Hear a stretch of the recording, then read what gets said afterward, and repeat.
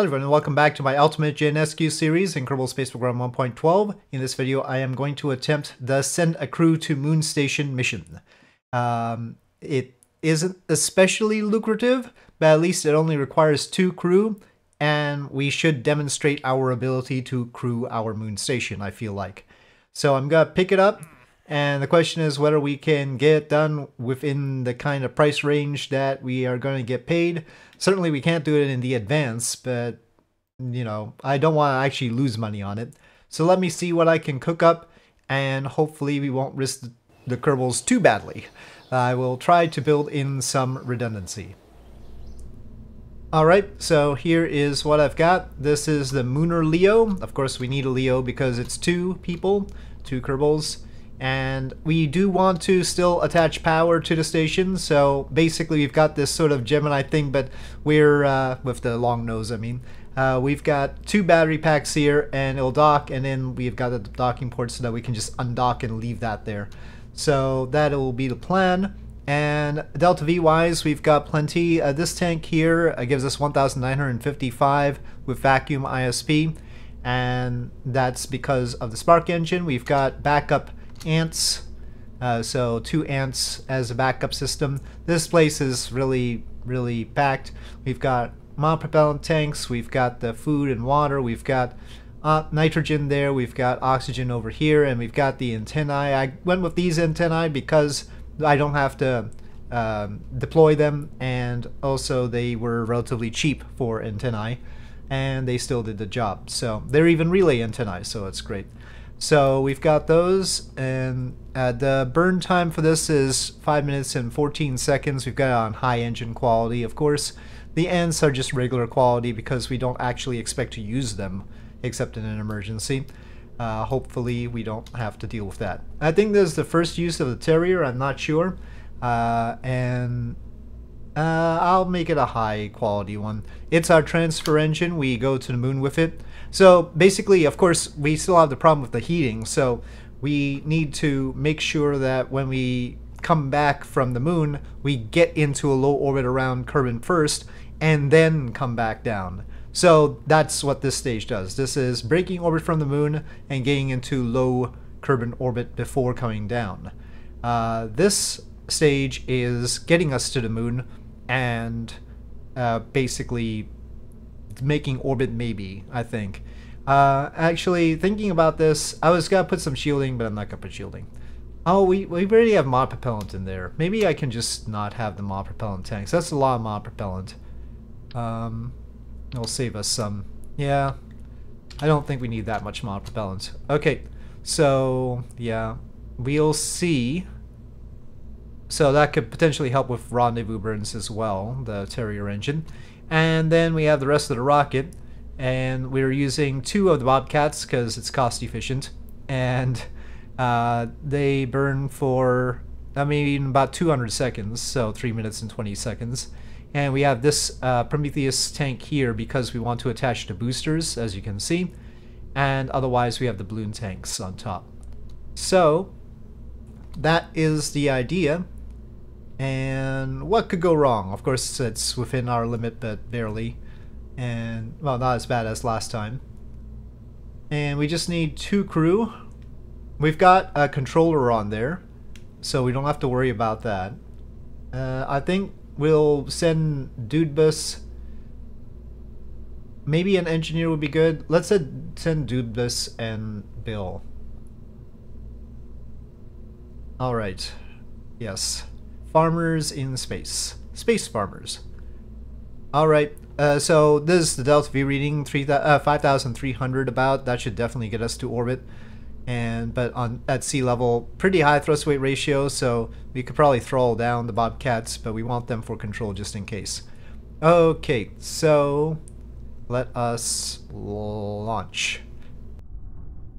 Well, we still have like limited crew control and not connected here, just like in the previous episode. So one thing we solved was uh, people had told me that the problem in the Kerbin Station episode was the um, Kerbal joint reinforcement interfering with the engineering mode. So I'll just have to turn off KJR in the menu before doing engineering things. uh, so that's fine. But the comm situation I have no idea about. So uh, at least we have limited Kerbal control. How limited? I always forget how limited that limited Kerbal control will be. Anyway, hopefully our farmer and Bill will do their job. Ignition. A little bit of... Oh, the throttle isn't working as usual. Okay, launch. Alright, let's give it a little bit of throttle there. Alright. Now let's just pour it on.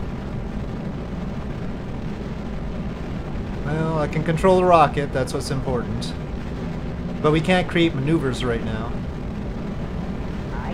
I don't know, uh, we had had this problem before and it solved itself, but I don't know how. I don't know what triggers it or what undoes it. Okay, off go the boosters. Really, this uh, rocket is probably OP for this purpose. Maybe we could have even put just one Bobcat. It'd be a little bit pressed right now, though. We can't throttle down too much, otherwise we'll hit the time limit on the engines. I mean, it's not a limit limit, I know, but... Okay, and that's... Oh, that's not what I wanted to do. That's, uh, that's not what I wanted to do. Uh, I actually wanted to deorbit the stage, but that's obviously not happened. Uh, I pressed the wrong key because my throttle doesn't work. Uh, whether Kerbal actually reads my throttle seems to be a random sort of thing these days. So I can't create a maneuver node, right? Or can I? No, I can't. Well, now we have comms. I don't know through what. Moon mission.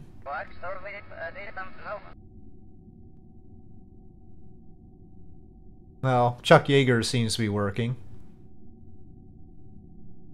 Well, I'll try and deorbit it anyway.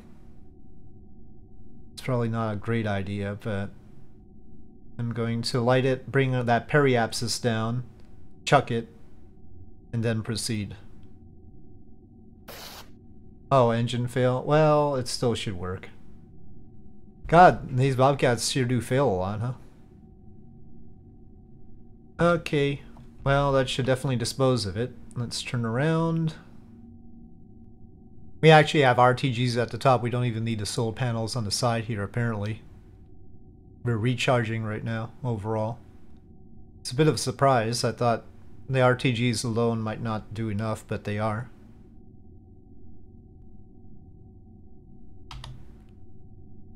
Well, with SAS on, it's not enough. So there's that. Okay. Separation of the stage.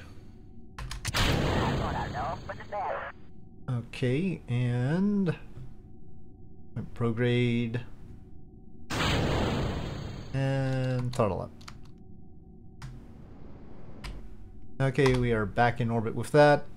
Um, go around one more orbit maybe. It depends. Uh, well, we we can plot the maneuver now, and it won't go away when we lose communication or something.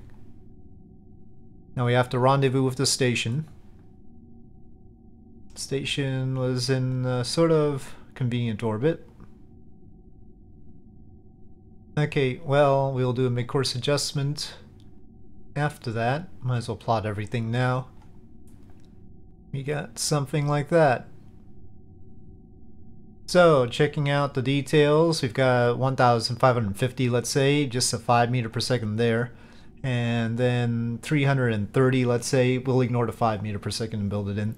Uh, 330, so that's 1880.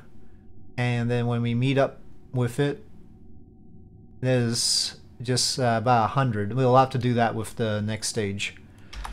Okay, so that'll be fine. Let's wait in orbit, extend the panels. 41 ignitions, so no problem there. One and go. Nice blue flame. Okay, final part of the burn. Ah, it that way. Let's rectify our CS here. No, I guess that'll be as good as we get. Okay, so we've got the mid-course adjustment next. Let's make sure it's doing what we want it to do. Uh, nothing seems right anymore. But we still have comms, so we can fix it. Okay, so we'll do that next. They seem fine. Um, let me make sure we're getting warnings about any storms that might happen. Um, storm, yeah, we need to find out about that. Uh-oh, we could have been in trouble. Uh, they still happen, so we will find out. In shadow. Solar storm in progress, in fact. We're just in shadow right now. Okay. Um, well, 3% radiation already. Well, Dudebus says 3% radiation. Bill does not. Am I gonna regret not putting on the shielding, or are we gonna be okay? Okay, it says tail to the sun as I can get. Let's proceed. And we'll pay attention to the radiation. That's the end of the storm. I think that's okay. Okay, that should be good enough. Uh, Okie dokie, we could get rid of the nose cap. Uh, well, a little bit of debris and probably high velocity debris now. feel like oxygen consumption is a little bit higher than I was expecting. And water and food. I thought we had like 12 days worth. We're only in day one.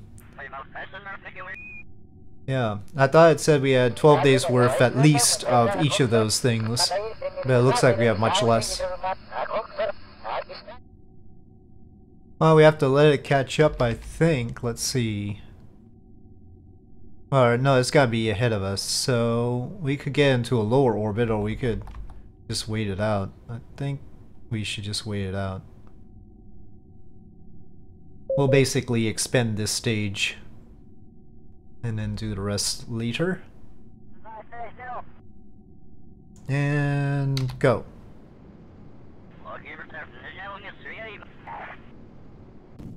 Okay, that is that stage. And separation. Ooh, those panels could have potentially done damage to the solar rays if it could have done that. Okay, so let me replot here. Uh, in fact, I think we'll take that right there.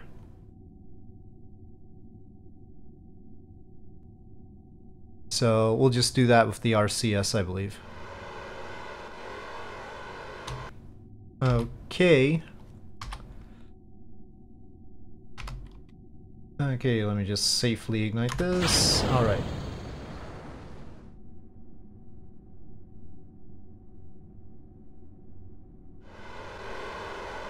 Well, that's the wrong side, I believe.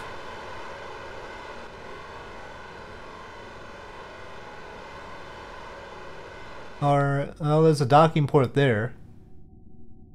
I guess we could use it. I think there's docking ports on either side. This might be the better side to put the batteries on. With some sort of sense of parallel.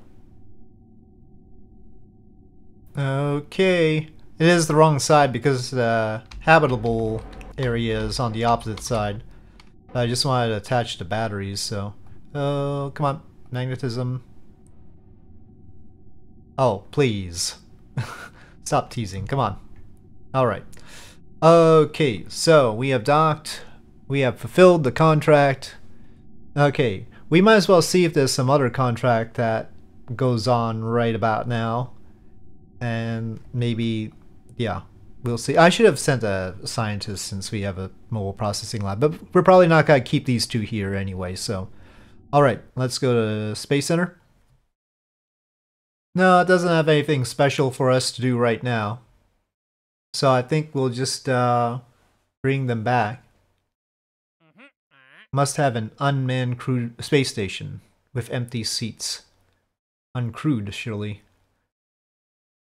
Okay. No evacuator station, huh? Okay, fine. Uh, alright then. We should test whether we can bring them back safely, so we are going to do that. Okay, so as unfortunate as it is to have brought them all the way here just to bring them back home immediately, uh, that is our goal as far as testing this system is concerned. And we're probably gonna depart over here, so we'll wait a bit.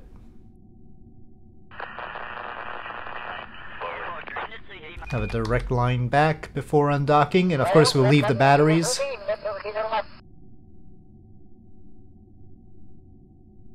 The contract did not say that we had to leave them there for any amount of time. They probably should have, but... Okay, we still have our supplies. We have 2,107, so that should be enough. We're not rendezvousing with anything in low Kerbin orbit this time, after all. We don't want to go in the atmosphere. Just outside the atmosphere will be fine. Okay. Well, that should do the trick. Plenty of... Plenty of everything. We had plenty of everything, really. And... Just a little bit of stress. 7% radiation, 4% radiation. Making this all reusable somehow would be nice, though, just so we can bring everything back. But can't figure that out yet. Not with the parts we have, it didn't seem simple to do that.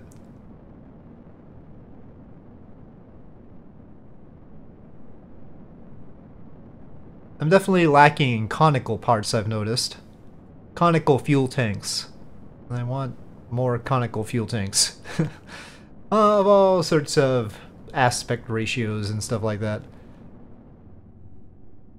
Okay. Well, the closer we are, the easier the next burn is. So we'll go to about there. That seems fine. And once we see the sun, we'll make sure to point our rear end at it. For safety's sake, you know.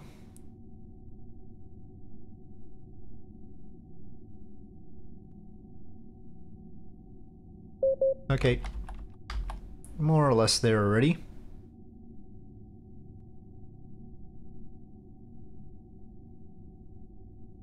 Okay. Heading back home. I do swear the the food, water, and oxygen consumption is faster than I was expecting by a lot. So caught by surprise by that. We'll double check that in the VAB, the reading. Maybe I just looked at it wrong or something. Okay, not in the atmosphere. And 9% and 7% radiation now. 11 and 8. Okay, we are approaching periapsis where we have to bring our orbit nice and safely down. Maybe we'll hang out in low Kerbin orbit just so that maybe we can land in daylight at the Space Center. Pitching down to control that periapsis since we've passed by so much.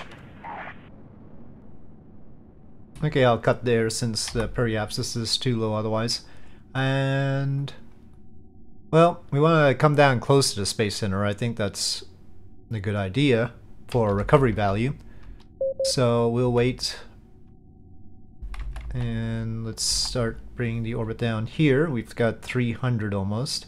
And then we have the RCS on top of that. The periapsis is all the way over there though. Um, that's sort of not exactly the way I wanted it. Let's see. We'll be past the KSC, I didn't do it right. Okay, separation of the service module. Okay, at least it didn't bump back into us or do anything weird. Very important. Alright, here we go. Bill and Dudebus coming back.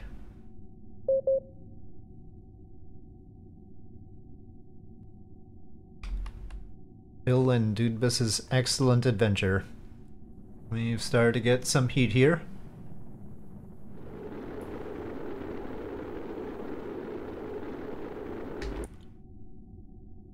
I mean, I guess we're not too far away from the Space Center, but we're not exactly where I wanted to be. Let's just not hit any mountains, please.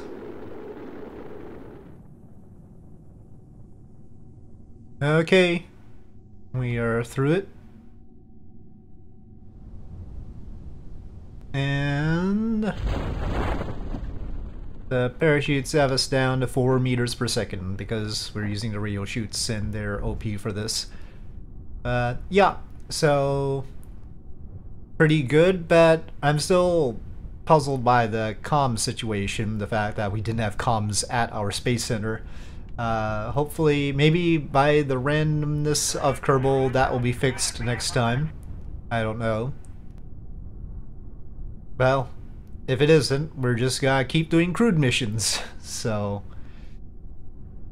That's why we need a space shuttle. See, uh, the, the thing is, NASA had the same problem and couldn't launch probes without crews, so they created the space shuttle. That's the theory. Nice trees. We need a space shuttle so that we can launch probes with crew so that we can have comms. well, no particular science or anything, but we fulfilled the contract and we did it without breaking our budget. So recover. And we also tested the system. Okay, so I was a little bit puzzled. Oh, we're over a million in funds now. But I was a little bit puzzled by our situation with the food, water, and oxygen. So let's make sure we have two Kerbals inside and take a look here. See, it says, oh, maybe, but this is uh, the a different day scale. This is like the half day and I'm still on the 24 hour day. Uh, these are 12 hour days. So complicated. Maybe it's because these are 12 hour days, but still, it seemed like it was more than that, uh, the consumption, because this would still be 8 days and we were pretty low after only 2 days. But yeah, it said 16 days, 12 days, and 13 days there. So yeah, a little bit puzzling, but we'll leave that be. Maybe it's because of the 12 versus 24 hour thing. All right, so a nice clean episode of Ultimate JNSQ, and we'll leave it here. And next time, we'll see our contracts and see what they suggest we should do. And one thing we could do is get some more science, maybe. Um, the next R&D building upgrade is 3.38 million. At least we got the 900,000 one. Anyway, so with that, thank you for watching. I hope you enjoyed this video. If you did, please do press like. If you have any comments or suggestions, please leave them in the comment section below, and I will see you next time.